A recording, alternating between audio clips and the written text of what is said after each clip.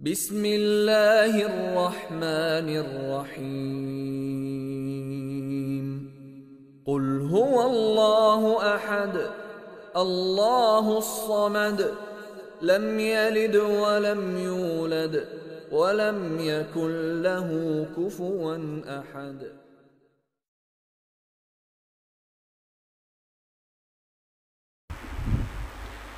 إن الحمد لله. إن الحمد لله نحمده ونستعينه ونستغفره ونعوذ بالله من شرور أنفسنا ومن سيئات أعمالنا. من يهده الله فلا مضل له ومن يضلله فلا هادي له. أشهد أن لا إله إلا الله وأشهد أن محمدا عبده ورسوله أما بعد. أعوذ بالله من الشيطان الرجيم. يا أيها الناس اتقوا ربكم الذي خلقكم من نفس واحدة. وخلق منها زوجها وبث منهم رجالا كثيرا ونساء. واتقوا الله الذي تساءلون به والأرحام. إن الله كان عليكم رقيبا. يا أيها الذين آمنوا اتقوا الله حق تقاته ولا تموتن إلا وأنتم مسلمون. يا أيها الذين آمنوا اتقوا الله وقولوا قولا سديدا. يصلح لكم أعمالكم ويغفر لكم ذنوبكم. ومن يطع الله ورسوله فقد فاز فوزا عظيما إن أصدق الحديث كتاب الله وأحسن الحديث حديث محمد صلى الله عليه وسلم وشر الأمور محدثاتها وكل محدثة بدعة وكل بدعة ضلالة وكل ضلالة في النار வார்த்தைகளில் உண்மையானது அல்லாஹுடைய வார்த்தை வழிகாட்டுதல்களில் சிறந்தது அல்லாஹனுடைய தூதர் முகமது சல்லல்லாஹு அலஹி வசல்லம் அவர்களது வழிகாட்டுதல் செயல்களில் கெட்டது மார்க்கத்தின் பெயரால் உருவாக்கப்படும் புதுமைகள். மார்க்கத்தின் பெயரால் உருவாக்கப்படும் புதுமைகள் அனைத்தும் விதாத்துக்கள் அனைத்து விதாத்தும் வழிகேடு வழிகேடு நம்மை நரகுக்கு இட்டுச் செல்லும் என்று அல்லாஹுடைய தூதர் முகமது சல்லல்லாஹு அலஹி வசல்லம் அவர்கள் தனது ஒவ்வொரு உரையிலும் சொன்ன எச்சரிக்கை ஞாபகப்படுத்தியவனாக ஜும்மாவுடைய உரையை ஆரம்பம் செய்கிறேன். முதலாவதாக அல்லாஹுவால் விதிக்கப்பட்ட ஜும்மாவுடைய கடமையை நிறைவேற்றுவதற்காக வேண்டி இறை இல்லத்தில் உங்களையும் என்னையும் ஒன்றிணைத்த அல்லாஹுக்கே இல்லா புகழ் அல்ஹம்துலில்லா. அன்புக்கணிய இஸ்லாமிய சகோதரர்களே இந்த உலகத்திலே முஸ்லீம்களாக வாழக்கூடிய நமக்கு இறைவன் இரண்டு பெரும் அத்தாட்சிகளை இரண்டு மிகப்பெரிய வாழ்வாதா வாழ்க்கை ஆதாரங்களை தந்திருக்கிறான். நம்முடைய வாழ்வை எப்படி கொண்டு செல்ல வேண்டும்? நாம் நம்முடைய வாழ்வை எப்படி அமைத்து கொண்டால் இந்த உலகத்திலும் நன்மை மிக்கதாக நாளை மறுமையிலும் பயனடையக்கூடியதாக அமையும் என்பதை நமக்கு காட்டித் தருவதற்காக வேண்டி இறைவன் தன்னுடைய திருமறை குரானை அருளியிருக்கிறான்.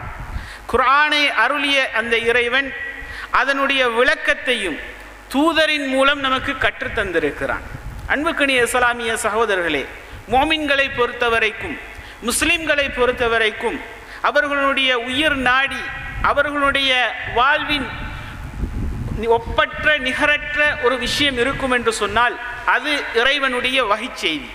இறைவனுடைய வகைச்செய்தி என்பது குரானும் சுன்னாவும். அல்லாஹனுடைய வேதமாகிய திருமறை குரானும் நபிகள் நாயகம் சல்லல்லாஹு அலிஹி வசல்லம் அவர்கள் எதையெல்லாம் தன்னுடைய சொல்லால் செயலால் அங்கீகாரத்தால் இந்த உலகத்திற்கு வெட்டி சென்றார்களோ இவைகளை குரான் சுன்னா ஹதீஸுகள் என்று நாம் சொல்வோம். அன்புக்கணிய இஸ்லாமிய சகோதரர்களே இந்த முதலாவது விஷயத்தில் நம்முடைய சமுதாயம் குர்ஆனை பொறுத்தவரைக்கும் நம்முடைய சமுதாயத்தில் எல்லோரும் ஏற்றுக்கொள்ளக்கூடிய ஒரு நிலை இருக்கிறது. அதை நம்பிக்கை கொள்ளக்கூடிய விதத்தில் அனைவரும் சரியான முறையில் நம்பிக்கை கொள்ளக்கூடிய ஒரு நிலை இருக்கிறது. ஆனால் ஒரு சில வசனங்களுக்கு மாற்று கருத்து என்ற அடிப்படையில் சில பேர் மாறி போனாலும் அல்லாஹனுடைய வேதமாகிய திருமறை குர்ஆனுடைய வசனங்களை யாரும் மறுப்பவர்களாக இல்லை. அதே போன்று ஹதீஸுகளை நாம் பார்ப்போம் என்று சொன்னால் நபிகள் நாயகம் சல்லல்லாஹு அலஹி வசல்லம் அவர்களிடமிருந்து வந்த இந்த செய்திகளை இன்றைக்கு உலகத்திலே பல கொள்கைகளுக்கு சொந்தக்காரர்கள் ஹதீஸ்கள் என்றால் என்னவென்று அறியாமல் ஹதீஸ் என்பது வகிதான் இருந்தாலும் சந்தேகத்துக்கிடமான வகி என்ற அடிப்படையில் ஹதீஸுகளை மறுக்கக்கூடிய வகியை மறுக்கக்கூடிய ஒரு இறை நிராகரிப்பான மோசமான ஒரு கொள்கை. ஹதீஸுகளை ஒரு மனிதன் மறுப்பான் என்று சொன்னால் வேண்டுமென்றே மறுப்பான் என்று சொன்னால் அது குஃப்ருக்கு கொண்டு போய் விட்டுவிடும் அல்லாஹினுடைய வகையை தன்னுடைய பகுத்தறிவை கொண்டு ஒரு மனிதன் விளங்க முற்படுவான் என்று சொன்னால் கண்டிப்பாக அவனுடைய பகுத்தறிவு அவனை ஒரு இடத்தில் வீழ்த்திவிடச் செய்யும். இதை அறியாமல் இன்றைக்கு ரசூலுல்லாவுடைய ஹதீஸுகள் பாதுகாக்கப்பட்டதில் சந்தேக சந்தேகம் கொண்டவர்களாக அந்த ஹதீஸ்களில் தங்களுடைய அறிவை நுழைத்து இது சரியான செய்திதானா? இதை ஏற்றுக்கொண்டு பின்பற்றலாமா என்பதற்கு தன்னுடைய மூளையில் போட்டு தன்னுடைய அறிவில் போட்டு பார்க்கிறார்கள். தன்னுடைய அறிவிலே போட்டு பார்க்கக்கூடியவர்கள் இது என்னுடைய அறிவுக்கு சரியாக இருக்கும் என்று சொன்னால் என்னுடைய அறிவு இதை ஏற்றுக்கொள்ளும் என்று சொன்னால் நான் ஏற்றுக்கொள்வேன். என்னுடைய அறிவு இதை மறுக்கும் என்று சொன்னால் நான் மறுப்பேன் என்ற ரீதியில் இன்றைக்கு நிறைய கொள்கைகள் இருப்பதை நாம் பார்க்கிறோம். அன்புக்குனிய இஸ்லாமிய சகோதரர்களே திருமறை குர்ஆனையும் ஹதீஸையும் பொறுத்த வரைக்கும் மூமின்களுக்கு அது இரண்டும் வகைதான். இரண்டும் அல்லாஹுடமிருந்து இருந்து அருளப்பட்டது. இரண்டும் பாதுகாக்கப்பட்டது. இரண்டில் எந்த சந்தேகமும் இல்லை. அறிவிப்பாளர் சரியாக ஒரு செய்தி நம்மை வந்து அடையும் என்று சொன்னால் இஸ்லாம் நமக்கு சொல்லித்தரக்கூடிய ஒரு அடிப்படை ஹதீஸுகளை பொறுத்த வரைக்கும் அந்த அறிவிப்பாளர்கள் சரியாக இருக்கிறார்களா? பொய்யர்கள் இருக்கிறார்களா? பொய்யை சொல்லக்கூடியவர்கள் இல்லாத நம்பகமான நல்லவர்கள் அறிவிக்கக்கூடிய செய்தி ஹதீஸுகள் என்று சொல்வோம். சரியான செய்திகள். இதில் ஒரு மனிதன் இந்த செய்தி நம்பகமான அறிவிப்பாளர் வழியாக வந்ததற்கு பிறகும் இதை என்னால் ஏற்றுக்கொள்ள முடியாது. இது குரானுக்கு முரண்படுகிறது. அல்லது இது என்னுடைய புத்திக்கு சரியாக படவில்லை. இது உலக நடைமுறைக்கு சாத்தியமில்லை. இதை ஏற்றுக்கொள்ள முடியாது என்று வாதிடுவான் என்று சொன்னால் அவன் இஸ்லாத்திலே அடிப்படை அறிவை இஸ்லாத்தினுடைய அடிப்படையை சரியான மூலாதாரங்களிலிருந்து பெறாதவனாக படிக்காதவனாகத்தான் இருப்பான். அன்புக்கணிய இஸ்லாமிய சகோதரர்களே அல்லாஹ் தன்னுடைய திருமறை குரானில் சொல்லும்போது இறைவன் இன்னா நஹ்னு நஸல்ன திக்ர் நாமே இந்த திக்ரை அருளினோம். இன்னா நாமே இதை பாதுகாப்போம் என்று சொல்கிறான். இந்த ஜிக்ர் என்ற வார்த்தை திருமறை குர்ஆனையும் உள்ளடக்கும் ரசூலுல்லாவுடைய ஹதீஸுகளையும் உள்ளடக்கும். ஜிக்ர் என்று சொன்னால் உபதேசம். அல்லாஹுடைய அந்த வகை செய்தி அந்த உபதேசம் முஸ்லீம்களுக்கு பொதுவான ஒன்று. அது குரானில் இருந்து வந்தாலும் சரி ஹதீஸில் இருந்து வந்தாலும் சரி. ஹதீஸில் வந்தால் நான் இந்த செய்தி ஹதீஸில் தானே வந்துச்சு அதனால் பின்பற்ற வேண்டிய அவசியம் இல்லை. அதை கொஞ்சம் நோமலாக பின்பற்றலாம். குரானில் வந்துட்டு அதனால் கூடுதலாக பின்பற்றேன் ஹதீஸில் வந்ததுனால குறைவாக பின்பற்றுறேன் என்று ஒரு மனிதனால் நினைக்க முடியாது ஒரு மோமினால் நினைக்க முடியாது. ஏனென்று சொன்னால் இரண்டும் இறைவனிடமிருந்து வரக்கூடிய வகை செய்தி. அதன் நன்மைகள் குர்ஆன் ஓதுறதுல நன்மை. குர்ஆனுடைய வசனங்களுக்கு என்று தனி ஒரு இறைவனிடம் இருந்து இருக்கக்கூடிய மற்ற சிறப்புகள் என்பது வேறு பகுதி. அதோடு இதை கம்பேர் பண்ணி அது சரி இது பிழை என்ற நிலைப்பாட்டுக்கு ஒருவன் வருவான் என்று சொன்னால் கண்டிப்பாக அது இஸ்லாமிய கொள்கையாக இருக்க முடியாது. அன்புக்குனிய இஸ்லாமிய சகோதரர்களே ஏனென்று சொன்னால் குர்ஆனை நாம் சரியாக பார்ப்போம் என்று சொன்னால் குர்ஆனும் மனிதர்களிடமிருந்து தான் நமக்கு வந்தது. நிறைய பேர் சொல்கிற நேரத்தில் ஹதீஸ் பாதுகாக்கப்படவில்லை என்பது போன்று ஒரு தோற்றத்தை ஏற்படுத்துவார்கள். அதுக்கு என்ன செய்வாங்கன்னு கேட்டால் குரான் கோடிக்கணக்கான மக்களிடமிருந்து வந்தது ஹதீஸை ஒரு சில பேர் தான் அறிவித்தார்கள். அதனால் ஒரு சில மனிதர்களிடம் தவறு வரும் தானே அதனால் அதில் தவறு வந்திருக்கலாம் என்று வாதிடுவார்கள். ஆனால் அன்புக்கினிய இஸ்லாமிய சகோதரர்களே மனிதர்களிடத்தில் தவறு வரும். மனிதன் தவறு செய்வான். ஆனால் வகையில் தவறு வராது. குரான் எந்த கோடிக்கணக்கான மக்களிடமிருந்தும் வரவில்லை. சஹாபாக்கள் கோடிக்கணக்கில் இருக்கவில்லை. சஹாபாக்கள் ரசூலுல்லாவிடமிருந்து சஹாபாக்கள் தான் கற்றார்கள். அந்த சஹாபாக்கள் இருந்து அடுத்த தாபியின்கள் அடுத்த தலைமுறையினர்கள் தான் கற்றார்கள். குரானினுடைய சில வசனங்கள் ஒரு சில நபித்தோழர்களிடமிருந்து வந்திருக்கிறது. நாம் எல்லாம் தெரிஞ்ச செய்திதான் ஒரு போர்க்களத்தில் சஹாபாக்கள் அதிகமாக மரணிப்பதை பார்த்து உமர் அலி அல்லாஹன் அவர்கள் குரான் தொகுப்பதற்காக அபுபக்கர் அலி அல்லாஹன் அவர்களுக்கு ஆலோசனை சொன்னார்கள். எழுபதுக்கும் மேற்பட்ட நபித்தோழர்கள் காரிகள் மரணித்து விட்டார்கள். குரான் மனப்பாடம் செய்தவர்கள்லாம் மரணித்து கொண்டு இருக்கிறார்கள் குரான் நம்மை விட்டு போய்விடுமோ என்று பயப்படுகிறார்கள். அதனால் இது தொகுக்கப்பட வேண்டும் என்று சொல்கிறார்கள். நூலுருவில் வர வேண்டும் என்று சொல்கிறார்கள். அப்படி என்று சொன்னால் லட்சக்கணக்கான ஆயிரக்கணக்கான மக்களிடம் குரான் இருக்கவில்லை நிரூபிப்பதற்கு ஏராளமான சான்றுகள் இருக்கிறது. என்ன செய்வாங்கன்னு சொன்னால் இந்த ஹதீஸ் மறுப்பாளர்கள் குரானுக்கு இருக்கிறதை விட தேவையில்லாத கூடுதலான பொய்யை இட்டு சொல்லுவாங்க. எப்படி? குரான் பாதுகாக்கப்பட்டதை பொறுத்த வரைக்கும் கோடிக்கணக்கானவர்களிடம் பாதுகாக்கப்பட்டது. அப்படி சொல்வார்கள். அப்படி கிடையாது. இஸ்லாமிய வரலாற்றை சரியாக படித்த யாரும் ஹதீஸ்களில் இருந்து புரிந்த யாரும் அதை ஏற்றுக்கொள்ள மாட்டார்கள். ஆனால் அப்படி சொல்வது ஏன் என்று சொன்னால் குர்வான் பாருங்களே கோடிக்கணக்கான ஆக்கள் இருந்து வந்தால் பிள வராது. ஹதீஸ் ஒன்று ரெண்டு பேர்த்திருந்து வந்தால் பிள வரும் தானே என்ற ஒரு அடிப்படையை உள்ளங்களில் விதைத்து விடுவார்கள். அப்போ ம மனுஷன் பிழை என்ற அடிப்படையில் ஹதீஸுகளை மறுப்பதற்கு உள்ளங்களை தயார் செய்கிறார்கள். அன்புக்குனிய இஸ்லாமிய சகோதரர்களே எப்படி ஹதீஸ்களில் முத்தவாத்திர் என்று பலர் அறிவிக்கிற செய்தியும் இருக்கிறது. ரெண்டு பேர் அறிவிக்கிற செய்தியும் இருக்கிறது மூன்று பேர் அறிவிக்கிற செய்தியும் இருக்கிறது ஒருத்தர் அறிவிக்கிற செய்தியும் இருக்கிறது. எப்படி வந்தாலும் அறிவிப்பாளர் சரியாக வரும் என்று சொன்னால் அது சரியான செய்திதான் என்பதில் மூமின்களிடத்தில் எந்த சந்தேகமும் இல்லை. இதே நிலையை ஹதீஸுக்கு கொடுத்த இதே சந்தே இந்த சந்தேகத்தை குரானிலும் தொடுக்கலாம். இந்த சந்தேகத்தை இப்படி விளக்கிறாங்க தானே இந்த விதைப்பை குரானிலும் தொடுக்கலாம். குரானுடைய சில வசனங்கள் ஒரு சில நபித்தோழர்களிடமிருந்து மட்டும் வந்திருக்கிறது. ஆகையினால் இந்த வசனங்கள் ஒரு சில பேர் தவறு செய்வார்கள் குரானுடைய வசனமாக இருக்க முடியாது என்று சொல்லலாம். இது குரான் தொகுக்கப்பட்ட வரலாறை உண்மையாக நாம் ஆராய்ந்து பார்ப்போம் என்று சொன்னால் இதை தெளிவாக விளங்கிக் கொள்ளலாம். அன்பு அன்பு அன்புக்குரிய இஸ்லாமிய சகோதரர்களே இன்றைக்கு நாம் பார்க்கிறோம் தமிழ் பேசும் உலகத்திலே இந்த ஹதீஸ் மறுப்பு கொள்கை மிகப்பெரிய அளவுக்கு மக்களிடத்தில் சென்றடைந்தது. ஆனால் அல்லாஹ் இன்றைக்கு ஒரு வீழ்ச்சியை கொடுத்து கொண்டிருக்கிறான். மிகப்பெரிய ஒரு வீழ்ச்சியையும் கேவலத்தையும் இந்த கொள்கைக்கு கொடுத்து கொண்டிருந்தாலும் திரும்ப திரும்ப அல்லாஹனுடைய வகையை மறுத்து கொண்டிருக்கக்கூடிய அந்த வழிகட்ட சிந்தாந்த சித்தாந்தத்தை திரும்ப திரும்ப செய்து கொண்டிருக்கிறார்கள். நாமெல்லாம் தெரிந்த ஒரு விஷயம்தான். இந்த ஏகத்துவத்தை மக்கள் மன்றத்தில் நல்ல அளவுக்கு எடுத்து சொன்ன ஒரு அறிஞர் என்று சொல்லி மதிக்கத்தக்கவராக இருந்த பிஜே அவர்கள் இன்றைக்கு இந்த கொள்கையை இந்த ஹதீஸ் மறுப்பு கொள்கையை மிகவும் ஒரு மிகப்பெரிய அளவுக்கு மக்களிடத்தில் பிரச்சாரம் செய்து கொண்டு இருக்கிறார் அன்புக்கணிய இஸ்லாமிய சகோதரர்களே இது ஒரு சாதாரண விஷயம் இல்லை.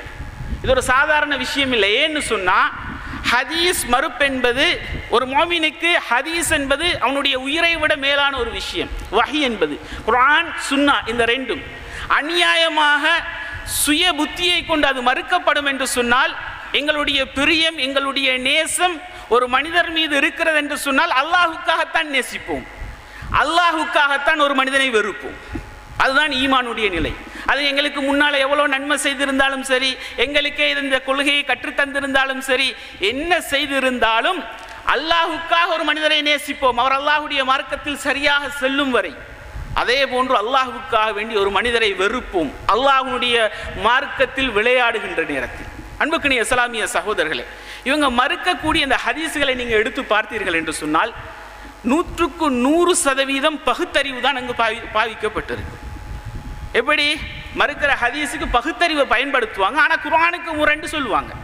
நீங்கள் ஹதீஸ்களில் மறுக்கப்பட்ட ஹதீஸ்கள் நூற்றுக்கணக்கான ஹதீஸ்களை மறுத்து விட்டார்கள். அதில் பல பிரிவுகள் இருக்கிறது. இப்போ அவர்களுக்குள் பிரிவு வந்ததினால் அவர் மறுத்ததை இவர் மறுக்கிறார்கள இவர் மறுத்ததை அவர் மறுக்கிறார்கள எப்போ? ஆளாளுக்கு பிரிஞ்சதுக்கு பிரிஞ்சதுனால. பிரிய முந்தி எல்லாரும் ஒன்றா மறுத்தாங்க. இதே ஒரு பெரிய ஒரு சான்று இது அவர்களிடம் படிப்பால் அறிந்து செய்யக்கூடிய ஒரு விஷயம் இல்லை. ஒரு மனிதனை கண்மூடித்தனமாக பின்பற்றியதனால் ஏற்பட்ட விளைவு என்பதற்கு. அன்புக்கணிய இஸ்லாமிய சகோதரர்களே நூற்றுக்கணக்கான ஹதீஸ்கள் மறுக்கப்பட்டிருக்கிறது. ஆனால் எந்த ஒரு ஹதீஸும் அறிவிப்பாளர் சகிஹான செய்திகள் மறுக்கப்பட்டிருக்கிறது. நீங்கள் எந்த ஒரு செய்தியை எடுத்து பார்த்தாலும் குரானுக்கு முரண் என்று சொல்வார்கள். ஒரே ஒரு வசனத்துக்கு திருமறை குரானுடைய ஒரு வசனத்துக்கு முரண்டா என்ன தெரியுமா? இருக்குது இல்லை. குரான் சொல்லணும் இருக்குதுண்டு ஹதீஸ் சொல்லணும் இல்லைண்டு இப்படி நேராக சொல்லக்கூடிய ஒரு செய்தி கூட இல்லை. குரானுடைய வசனத்துக்கு நேராக மறுப்பு மறுப்பதற்கு இந்த ஹதீஸ் இந்த வசனத்துக்கு இப்படி நேராக முரண்படுகிறது என்று சொல்லி காட்டக்கூடிய எந்த ஒரு செய்தியும் இல்லை. எப்படி மறுக்கப்படும் என்று சொன்னால் குர்ஆனில் ஒரு ஒரு விஷயத்தை பற்றி பேசப்படக்கூடிய எங்கேயாவது ஒரு பகுதியை எடுத்துக்கொண்டு வந்து அது சம்பந்தமில்லாமல் அதற்கு விளக்கம் கொடுத்து அந்த விளக்கத்துக்கு மறுப்பதாக ஒரு விளக்கம் கொடுப்பாரு. அந்த விளக்கத்துக்கு தான் இந்த ஹதீஸ் முரண்படுமே தவிர குரானுக்கு முரண்படாது. இவராக கொடுக்குற அந்த விளக்கத்துக்கு முரண்படும். ஆகவே அந்த விளக்கத்துக்கு முரண்பட்டதை குரானுக்கு முரண்பட்டதாக மக்கள் மத்தியில் சித்தரிப்பார்கள். சித்தரிக்கின்ற நேரத்தில் குரான் ஹதீஸில் போதுமான தெளிவில்லாத மக்கள் போதுமான அறிவை அதை அதை படிப்பதிலே மிகவும் ஆர்வம் இல்லாமல் சாதாரணமாக பின்பற்றக்கூடிய மக்கள் அதில் வீழ்ந்து விடுவார்கள். அன்புக்குரிய இஸ்லாமிய சகோதரர்களே இவர்கள் மறுக்கக்கூடிய இந்த செய்தியினுடைய அடிப்படை இந்த ஹதீஸ் மறுப்பு கொள்கையினுடைய அடிப்படை என்ன தெரியுமா? சரியான ஈமானிய நம்பிக்கையில் இல்லாததின் காரணத்தினால் ஈமானிய குறைபாடு தான் இதற்கு காரணம். ஏனென்று சொன்னால் எந்த ஒரு செய்தி ஒரு மோமின் எப்படி நம்பணும்னு சொன்னால் அல்லாஹும் அல்லாஹுடைய தூதரும் சொல்லிட்டான்னு சொன்னால் எந்தவித சந்தேகமும் இல்லாமல் அதை ஏற்றுக்கொள்ள வேண்டும். அவன்தான் மோமி அதில் போய் என் அறிவை உட்படுத்தி இது சரியாக இருக்குமா இது பிள்ளையாக இருக்குமான்னு நாங்கள் சிந்திக்கக்கூடாது சிந்திச்சு பாருங்கள் ஹதீஸுகளுக்கும் இவங்க ஒரு விளக்கம் சொல்கிறாங்க என்ன சொல்கிறாங்க குரானுக்கு ஹதீஸ் முரண்படுகிறது. முரண்பட்டால் மறுக்கலாம் என்று விதியை சொல்கிறார்கள். இந்த விதி குரான் சுன்னாவில் உள்ள விதி இல்லை இவர்களாக தயாரித்து கொண்ட விதி. சரி. இது யாருக்கு முரண்பட்டால் மறுப்பது? எனக்கு முரண்பட்டா மறுக்கிறதா? அவருக்கு முரண்பட்டா மறுக்கிறதா? இவருக்கு முரண்பட்டா மறுக்கிறதா? அல்லாஹ் தண்ட வகையை நீங்கள் உன புத்திக்கு சரின்னா எடுத்துக்கோங்க. புத்திக்கு சரி இல்லாட்டி அது ஓகே. புத் நீங்கள் யோசிச்சு பார்க்குறீங்க சரியாக விளங்கிச்சா ஏற்றுக்குங்க இல்லாட்டி ஏற்றுக்க தேவையில்ல. இப்படியா அல்லாஹ் தன்னுடைய வகையை வைப்பான். இன்றைக்கு அப்படித்தான் ஹதீஸை கொண்டு போய் வைத்திருக்கிறார்கள். சரின்னு அவங்களுக்கு பட்ட ஹதீஸ் சரி இல்லாட்டி ஹதீஸ் இல்லை. அல்லாஹனுடைய வகி அவ்வளவு மோசமான அல்லாஹ் அவ்வளவு மனிதர்களுக்கு அவ்வளவு ஒரு மோசமான நிலையில் தன்னுடைய வகை செய்தியை விட்டு செல்வானா? அன்புக்குனி இஸ்லாமிய சகோதரர்களே ஒரு நாளும் அல்லாஹ் நீங்கள் வகையை தீர்மானித்து கொடுங்கள் என்று எனக்கோ உங்களுக்கோ அதிகாரத்தை தரமாட்டான். அல்லாஹ் தீர்மானித்து இதுதான் வகி என்று சொல்வான் ஆமன்னா. நாம் சமியனா வாத்தானா செவியுற்றோம் கட்டுப்பட்டோம். அதுதான் இஸ்லாம். அல்லாஹ் சொன்னா கேட்டோம் கட்டுப்பட்டோம். அன்புக்கணிய இஸ்லாமிய சகோதரர்கள் இவர்கள் மறுப்பது போன்று மறுப்பதாக இருந்தால் திருமறை குரானை மறுக்க வேண்டும். இவர்களுடைய வாதப்படி திருமறை குரான் மறுக்கப்பட வேண்டும். எப்படி மறுக்கப்பட வேண்டும் தெரியுமா? அல்லாஹ் திருமறை குரானிலே சிந்தனையை பற்றி சொல்கிறான். சிந்திப்பதை பற்றி சொல்லக்கூடிய நேரத்தில் நாங்கள் எல்லாம் பொதுவாக விளங்கி வச்சுக்கிறோம் சிந்தனை என்னண்டு? பொது பொதுவான ஒரு நிலைப்பாடு என்ன? எல்லாரும் அறிஞ்ச ஒரு நிலைப்பாடு. சிந்திப்பது மூளை. இதானே பொது அதனால தானே மூளை இது பேச்சு வழக்கில் எல்லார்டையும் உள்ள ஒரு செய்தி என்ன செய்கிறோம்? உனக்கு மூளை இல்லையா அறிவு இல்லையான்னு கேட்குற நேரத்தில் மூளையை சிந்தனையுடைய உபகரணமாக சிந்திப்பது மூளை தான் என்று நாம் சொல்லிக்கொண்டு இருக்கிறோம் நிறைய சயின்டிஸ்ட் சொல்கிறாங்க அதுதான் நாங்கள் படித்த அறிவாக இருந்து கொண்டு இருக்கிறது அன்புக்கணி இஸ்லாமிய சகோதரர்களே அல்லாஹ் திருமறை குரானிலே சிந்தனையை பற்றி சொல்லக்கூடிய நேரத்தில் ஹதீஸுகளில் ரசூல்லாஹி ஸல்லல்லாஹு அலைஹி சொல்லக்கூடிய நேரத்தில் மூளையை எங்கும் சொல்லவில்லை. எதை சொல்கிறான் தெரியுமா? அல்லாஹ் சிந்திப்பது எதுவென்று சொல்கிறான் தெரியுமா திருமறை குர்வானிலே உள்ளத்தை சொல்கிறான் கல்ப். உங்களுடைய கல்ப் தான் சிந்திக்கிறது என்று சொல்கிறான். இந்த வசனம் இந்த வசனத்துக்கு இதே சகோதரர் பிஜே விளக்கம் கொடுக்கிறார். எப்படி கொடுக்கிறார் தெரியுமா? கல்ப் என்று சொன்னால் அது அகராதி அடிப்படையில் மூளை என்றும் பொருள் கொடுக்கலாம். ஆகையினால் என்ன செய்யலாம்? மூளை தான் சிந்திக்கிறது. அது மறுக்க முடியாத உண்மை. சிந்திப்பது மூளைதான். என்ற அடிப்படையில் எழுதி இருக்கிறார் ஆனால் அன்புக்குனி இஸ்லாமிய சகோதரர்களே திருமறை குர்ஆனில் இதுக்கு நேர் மாற்றமான வசனம் இருக்கிறது. சுதூர் சதுர் நெஞ்சிலே உள்ள கல்ப் சிந்திப்பதாக அல்லாஹ் திருமறை குர்ஆனில் சொல்கிறான். சும்மா கல்புன்னு சொன்னா அப்படி விளக்கம் சொல்லிட்டு போய்த்திடலாம் ஆனால் அல்லாஹ் சொல்கிறான் சதுர் சதுர்னா நெஞ்சு. இந்த நெஞ்சில் இருக்கக்கூடிய கல்ப் சிந்திக்கிறது என்று சொல்கிறான். இப்போ எப்படி விளக்கம் கொடுக்கிறது? சயின்ஸை ஏற்று ஏற்றுக்கிட்டு சயின்ஸ் அடிப்படையில் பின்னால் போகிறவங்க குரானை மறுத்துட்டு நான் சயின்ஸை ஏற்றுக்கொள்றேன்னு போகணும். ஆனால் மோமின்கள் நாங்கள் ஒரு காலம் அதை மறுக்க மாட்டோம். சயின்ஸில் குறைபாடு என்று சொல்லுவோம் சயின்ஸ்ன்றது வந்து நிரூபி எல்லாமே நிரூபிக்கப்பட்ட தியரிகள் கிடையாது. இதை சொல்வதாக இருந்தால் சயின்டிஸ்ட்கள் மத்தியில் கூட ஒரு சில பிரிவினர் இருக்கிறார்கள். இன்னும் உள்ளம்தான் சிந்திக்கிறது என்று அடித்து சொல்லக்கூடியவர்கள். பல ஆதாரங்களை வைக்கிறார்கள். ஆனால் உலகத்துக்கு பாடத்திட்டத்தில் எல்லாத்துலேயும் கொண்டு வந்த சயின்ஸ் என்னன்னு கேட்டால் சிந்திப்பது மூளை. ஆனால் பொதுவாக சில சயின்ஸ் உண்மையிலே சரியான சயின்ஸ் அடிப்படையில் பேசக்கூடிய சில பேர் இருக்கிறார்கள். உள்ளம்தான் சிந்திக்கிறது என்பதற்கு அவங்க பல ஆய்வுகளை செய்த பல தகவல்கள் இருக்கிறது. அன்புக்குனி இஸ்லாமிய சகோதரர்கள் ஆனால் சாதாரண மக்களாக நம்ம சிந்திச்சோம்னா என்ன செய்யணும்? இதெல்லாம் தேடாமல் ஒரு மனுஷன் தேடுறது ரெண்டாவது. ஒரு மூமின் இதை எப்படி நம்பிட்டு போவான்? நானும் நீங்களும் இந்த செய்தி எப்படி நம்புவோம்? குரானில் வந்து இருக்கிறதா உள்ளம் என்று சொல்கிறதா நான் ஏற்றுக்கொள்வேன். அது ஆயிரம் சயின்ஸ் சரி சயின்ஸ் என்பது அது என்பது இன்றை கொண்டு சொல்லுவான் நாளை கொண்டு சொல்லுவான். ஒரு காலத்தில் பூமி தட்டை என்றான் உருண்டை என்றான் மாற்றிக்கொண்டே போவான். அதனால் நான் என்னுடைய மார்க்கத்தை மாற்ற மாட்டேன். இதுதான் ஒரு மூமியினுடைய நிலையாக இருக்க வேண்டும். அன்புக்குரிய இஸ்லாமிய சகோதரர்களே ஆனால் இவர்களுடைய நிலை என்ன தெரியுமா? இவங்க மறுக்கிற ஹதீஸில் நிறைய இடத்துல இந்த சயின்ஸை பேசி தான் மறுப்பாங்க. இது பாருங்களேன் இப்படியே காட்டுறான் அப்படி காட்டுறான் செட்டலைட்டில் படம் எடுத்து காட்டுறான் அதில் இப்படி காட்டுகிறான். இதற்கெல்லாம் முரண் நெளி தெளிவாக இருக்கிறதே. அப்போ இது முரண் தானே? என்ற அடிப்படையில் மறுக்கக்கூடிய ஒரு நிலையை நாம் பார்க்கிறோம். அன்புக்கணிய இஸ்லாமிய சகோதரர்களே இதை நாம் கவனத்தில் கொள்ள வேண்டும். அந்த அடிப்படையில் நாம் சிந்திப்போம் என்று சொன்னால் ஹதீஸ்கள் பல செய்திகள் கரஞ்சீரம் சம்பந்தப்பட்ட ஹதீஸ்களை மறுத்தார்கள். ஆனால் இந்தியாவுடைய பிரபல்யமான ஒரு வைத்தியர் கேன்சர் சம்பந்தப்பட்ட இந்த இது பகுதியில் இருக்கக்கூடிய ஸ்பெஷலிஸ்ட் அதில் நல்ல அவர் எந்த அளவுக்கு சொல்கிறாருன்னு கேட்டால் எப்போலோ அது போன்ற இந்தியாவில் பிரசித்தி பெற்ற மது மருத்துவ அந்த மருத்துவமனைகளில் ஒரு பிரசித்தமான மருத்துவர். ஒரு மாதத்துக்கு மூவாயிரம் நாலாயிரம் பேருக்கு அதிகமான பேஷண்ட் கேன்சர் பேஷண்ட்களை நான் பார்க்குறேன்.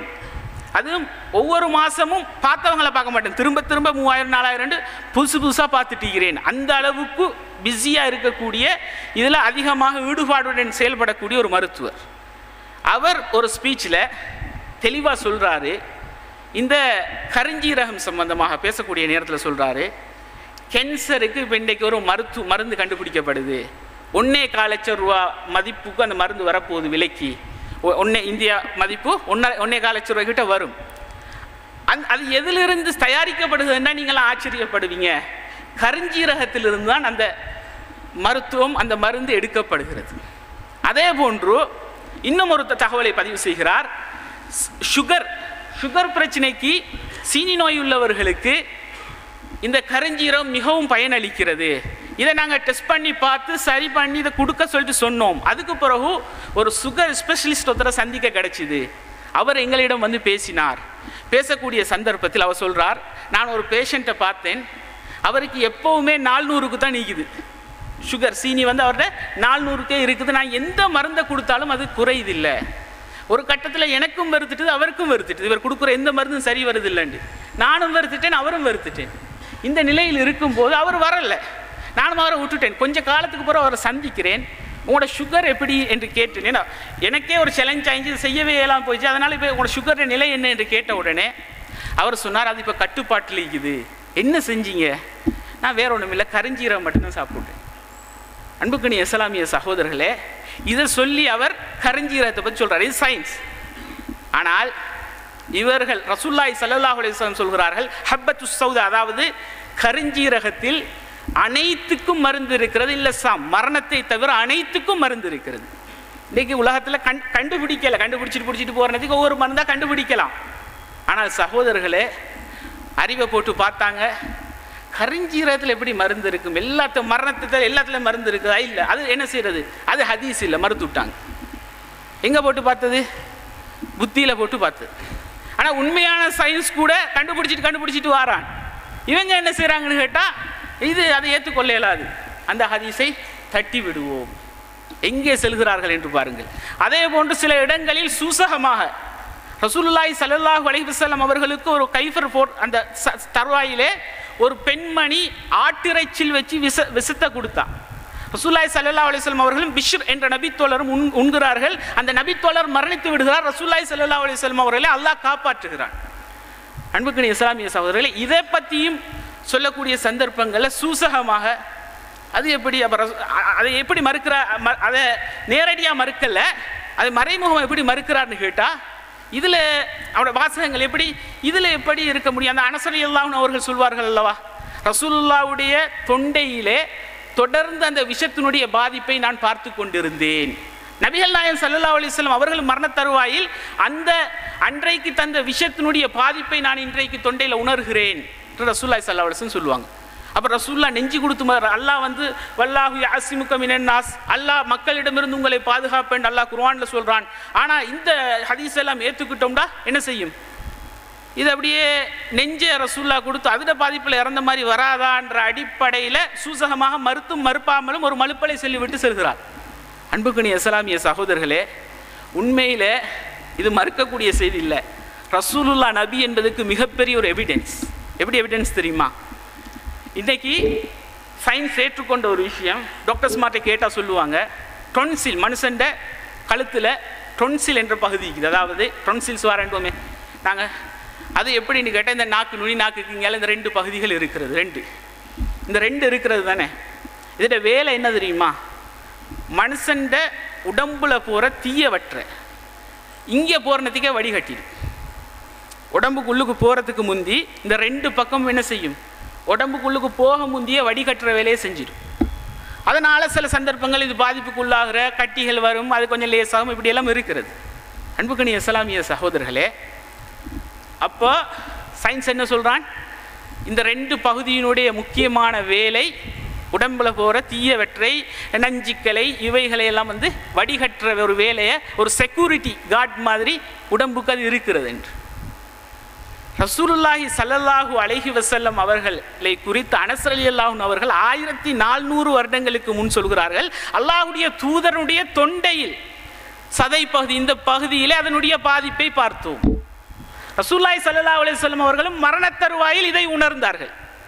இந்த செய்தியில் எவ்வளோ பெரிய சான் ஆயிரத்தி நானூறு வருஷத்துக்கு முந்தி தெரியுமா? தொண்டையில் இது வந்து விஷத்தை எல்லாம் வடிகட்டுற ஒரு பகுதின்னு யாருக்காவது தெரியுமா?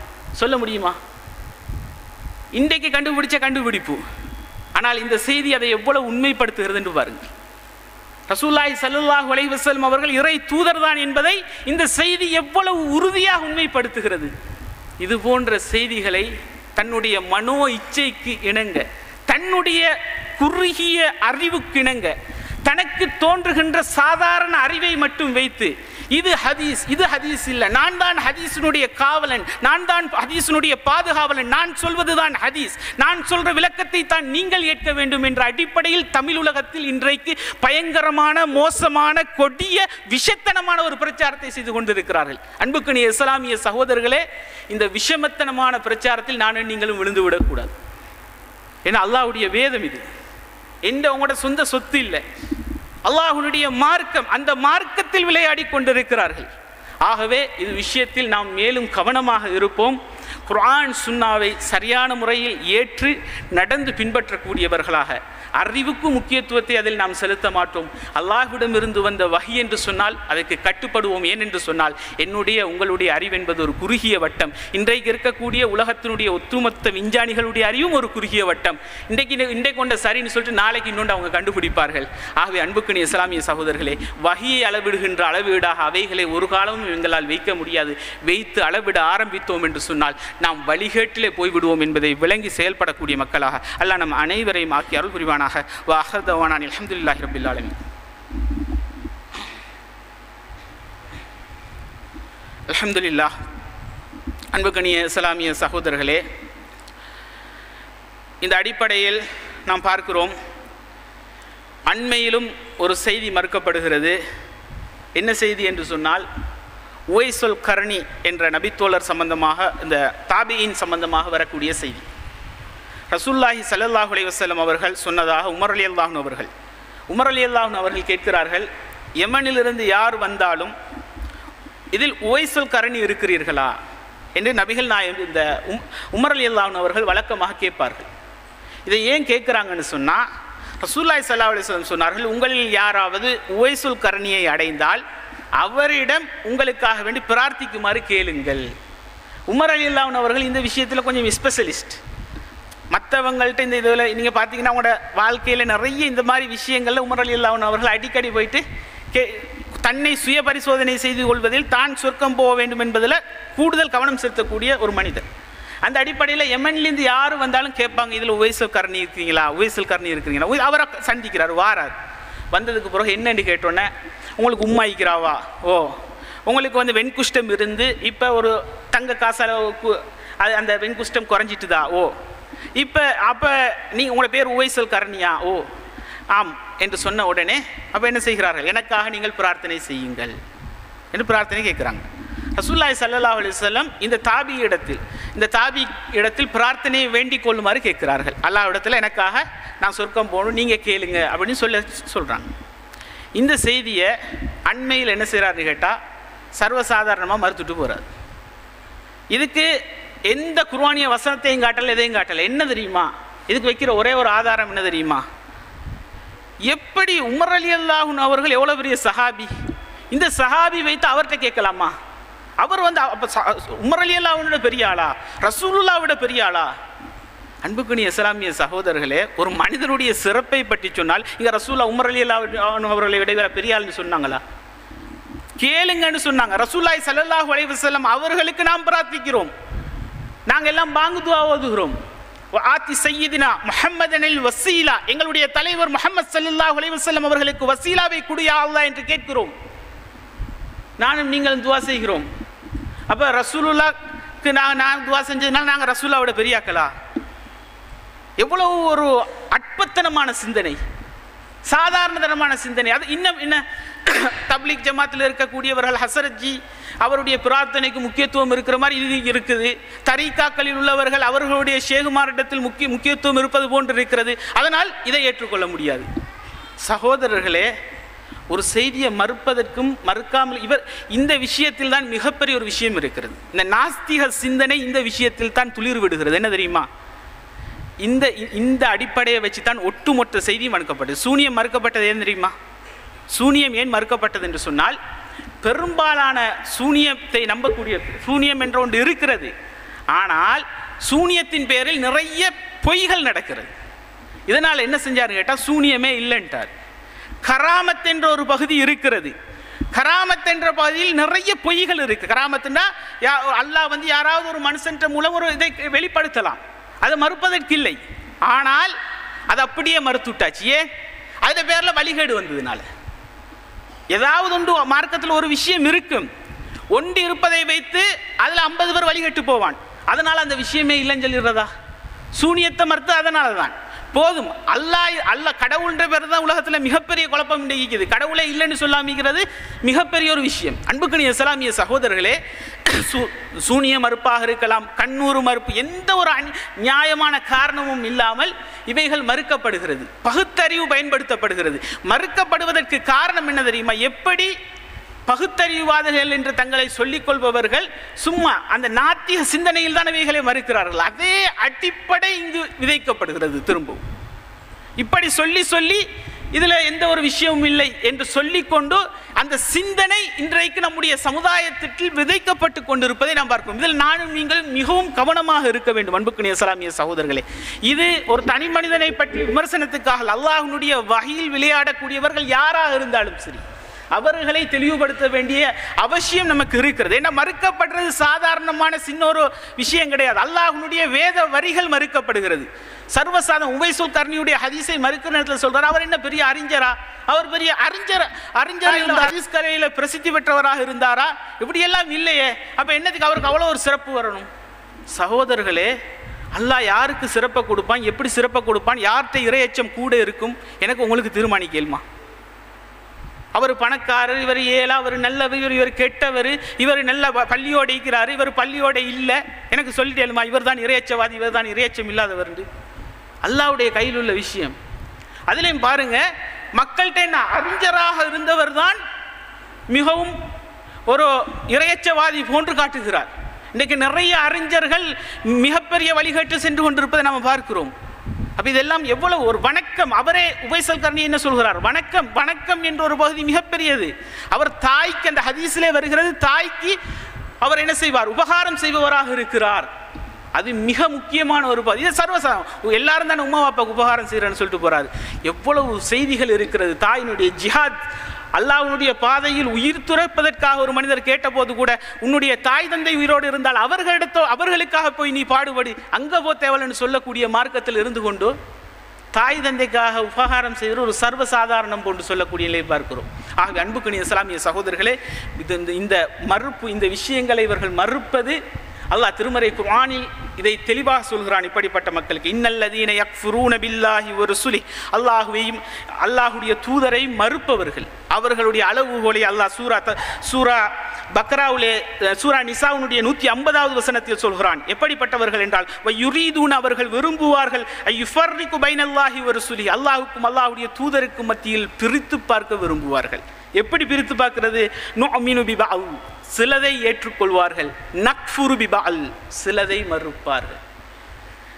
எடுத்து யுரீதுன ஐயத்தஹிது பைனதாலிக்க சபீலா. ரெண்டுக்கும் நடுவுல ஒரு பாதையை இவங்களா எடுத்துக்கொள்வாங்க. எல்லாத்தையும் ஏற்றுக்க மாட்டாங்க எல்லாத்தையும் மறுக்கவும் மாட்டாங்க. அல்லாஹ்க்கும் அல்லாட தூதருக்கு மத்தியில் பிரிச்சுப்பாங்க வைப்பாங்க. என்ன?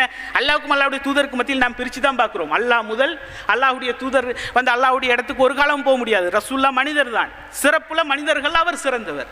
அப்போ பிரித்து பார்க்குறது எதுன்னு கேட்டால் அல்லாஹ் சொன்ன செய்திக்கும் அல்லாஹுடைய தூதர் சொன்ன ஹதீஸுகளுக்கும் குரானுக்கும் ஹதீஸுக்கும் மத்தியில் பிரிச்சு பார்க்க மாட்டாங்க. அப்படி பிரிச்சு பார்ப்பவரை தான் சொல்கிறான் அல்லாஹ் யுரீதுன யத்தஹிது பைனதாலி கசபிலா ரெண்டுக்கும் மத்தியில் ஒரு வழியை ஏற்படுத்துகிறாங்க. உலாய்க ஹுமுல் காஃபிரூன ஹக்கா. இவன் தான் உண்மையான காஃபிர். அல்லாஹனுடைய தீர்ப்பு. ஆகவே அன்புக்கணி இஸ்லாமிய சகோதரர்களே நாம் சிந்திக்க வேண்டும். இது இறைவனுடைய தீர்ப்பு. இறுதியாக ஒரு வசனத்தை சொல்லி முடித்துக் கொள்கிறேன். அல்லாஹ் கேட்கிறான் அப்ப துஅமினூன பிபஅலில் கிதாப்? வேதத்தில் சிலதை ஏற்றுக்கொண்டோ வ சிலதை மறுக்கிறீர்களா? என்று கேட்டு இப்படி உங்களில் யார் செய்கிறாரோ அவருக்கு கூலி இல்லா ஃபில் துன்யா இந்த உலகத்தில் அல்லாஹ் அவரை இழிவுபடுத்துவான். அதே போன்று அல்லாஹ் சொல்கிறான் மறுமையிலும் இழிவு இருக்கிறது. மறுமையில் கடுமையான வேதனை இருக்கிறது. அல்லாஹுடைய வேத வரிகள் ஹதீஸ்களிலே குரானில் சுன்னாவில் யாராவது கை வைத்து விளையாட ஆரம்பித்தார்கள் என்றால் ஹிஸ்ஸுன் ஃபில் ஹயாத்தி துன்யா இந்த உலகத்தில் அல்லாஹ் கேவலத்தை கொடுப்பான். இன்றைக்கு அல்லாஹ் மிகப்பெரிய கேவலங்களை கொடுத்து கொண்டிருப்பதை பார்க்கிறோம். அல்லாஹுடைய வேத வரிகள் உண்மையாகி கொண்டிருக்கிறது. ஆகவே அன்புக்கணிய இஸ்லாமிய சகோதரர்களே இதை நாம் புரிந்து கொள்வோம். அல்லாஹினுடைய மார்க்கம் எங்களுடைய உயிரையும் விட மேலானது. இந்த மார்க்கத்தை சரிவர நாம் புரிந்து கொள்வோம். இந்த மார்க்கத்தை சரியான முறையில் நாம் தெரிந்து கொள்வோம். அது சரியான ஒரு ஹதீஸை எந்த ஒரு காரணம் சொல்லும் தட்டி நோமலாக மறுத்துவிடக்கூடிய ஒரு நிலைக்கு நாம் வந்தோம் என்று சொன்னால் நாளைக்கு அல்லாஹ் நம்மை பிடிப்பான் என்று சொன்னால் அந்த பிடியிலிருந்து ஒரு நாளும் நம்மால் வெளிவர முடியாது. ஆகவே அன்புக்கணி இஸ்லாமிய சகோதரர்களே நம்முடைய அறிவல்ல. இதற்கு மூலாதாரம் அல்லாஹ் இறை நம்பிக்கை என்பது அறிவு என்பது ஒரு பகுதி.